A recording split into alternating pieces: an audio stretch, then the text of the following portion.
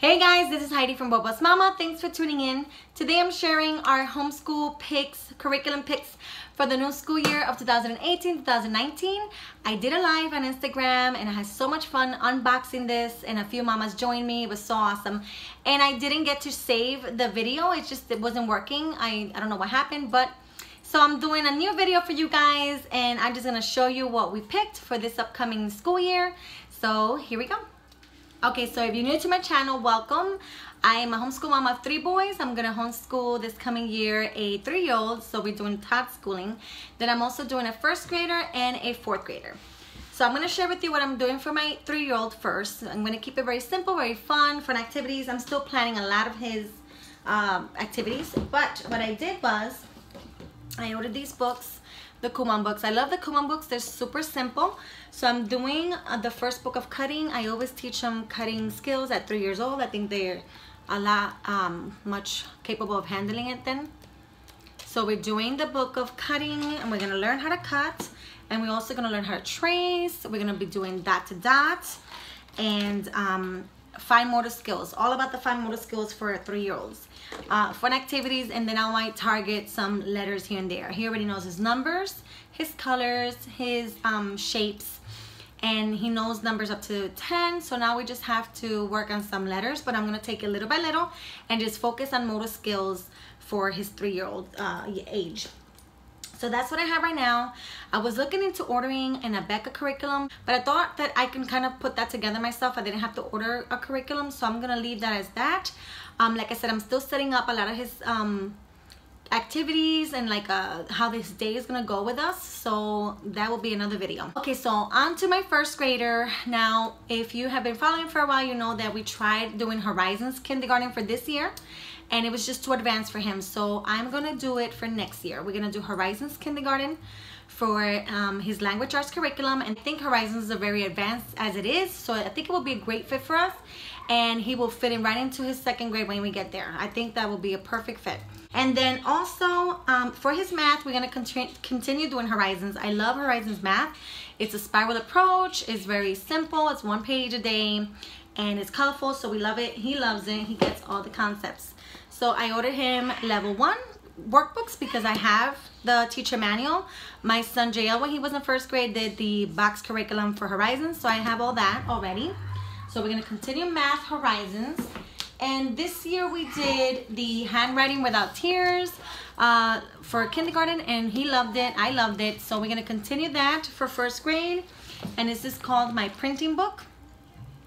So we're learning uh, words and so forth this year and blending and how to learn how to read. So that's what I'm focusing with Jonah right now. I only use the workbook and the teacher's manual. Um, actually, my friend Tanya from Project Happy Home, hi Tanya, send me the correct the um, teacher manual. And for learning how to read, we are going to tackle this book here, Teach Your Child to Read in 100 Easy Lessons.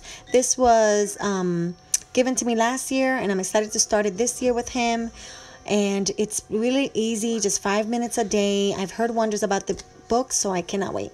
Um, i'm gonna share with you the bible time history and science all together at the end because we're gonna put those classes together for fourth and first grade. Um, so for geography we are doing maps graphs and maps charts and graphs. I always want to say it backwards.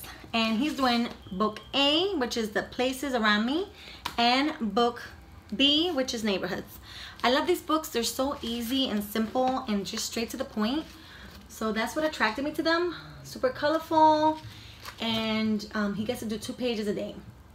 But super simple and it gets them um, their feet wet on geography and it's very thorough so I really like that. And I think there's like levels up to G and I think further than that. So I'm excited about that.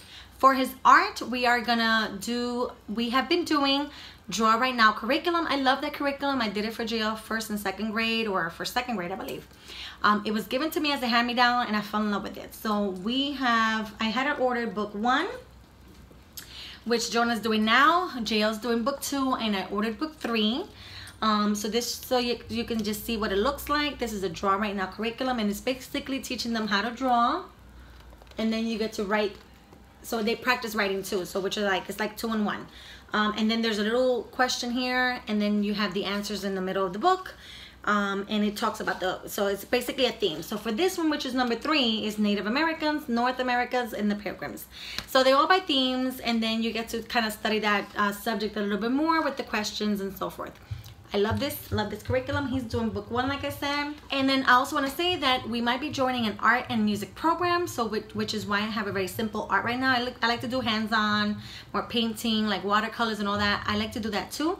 But if we join this co-op, I don't have to buy anything. It all comes with the co-op. So we're just debating. That's all on hold right now to see if it's something that will be a good fit for us. Okay, so now moving to JL, he is going to fourth grade. Um, so JL is gonna do for language arts, we're gonna do learning language arts through literature, and this is the orange book. Um, he did the yellow book this year, which was a third grade, and I contacted the company and they were so sweet to agree and send me this uh, for free for uh, a review on my channel. So you guys will be hearing about this throughout next year. I actually did a review on the yellow book and I included this one in that review too as well. So if you want to see what it comes with, please um, check out the book down below, the um, link down below in my description box to see the review and to also check this one out. For his math, we are going to continue, and I'm forming a little mess over here already. We're going to continue doing the Life of Fred. We love this curriculum so much. It's an elementary um, we're doing the elementary book series and it's about 10 books in there. So we already finished three books this year. We're hoping to do three more books. So I ordered um, dogs, farming, and Edgewood. And those are the three that we're gonna focus on this year.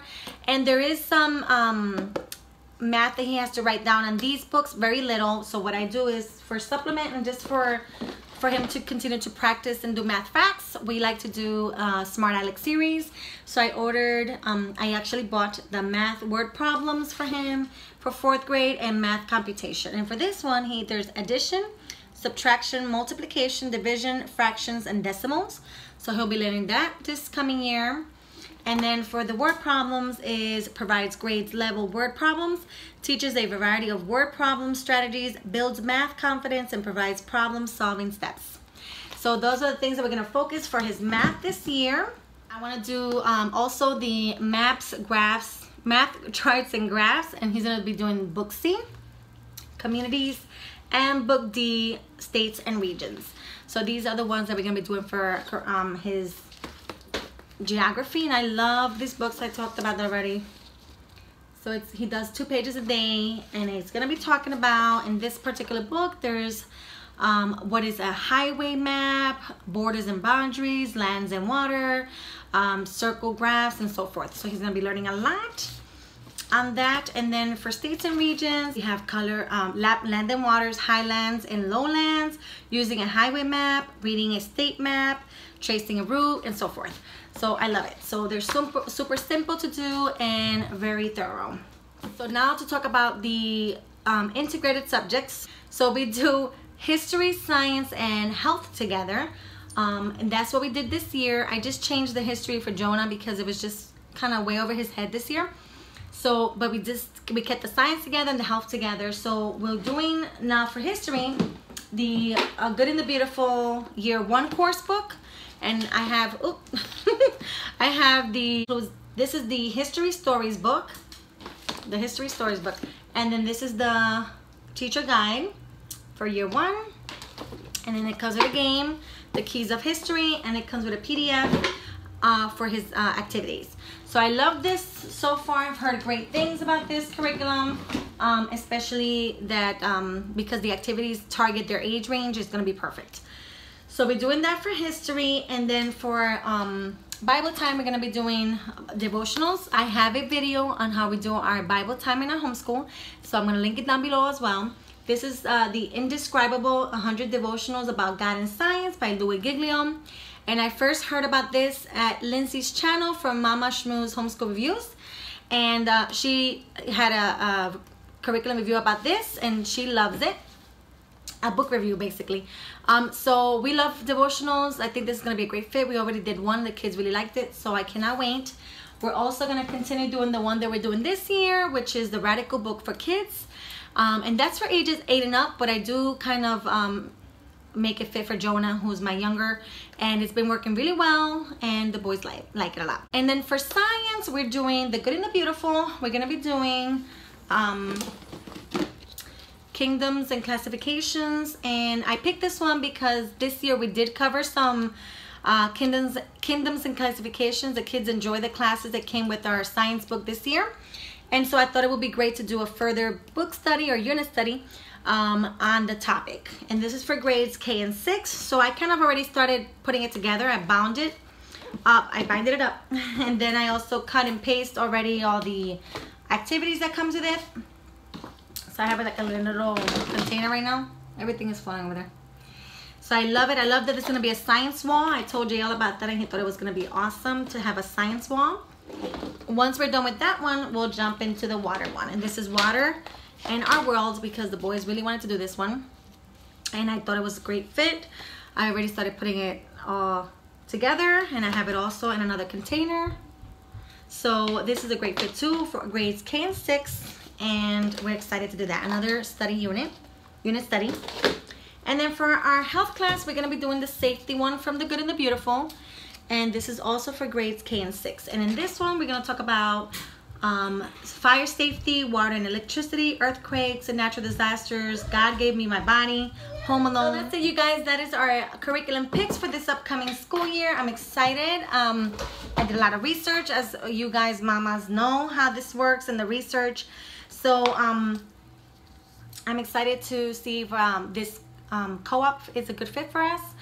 And if not, then we'll take a break from co-ops and that is perfectly fine. So I'll do something else for um, their art.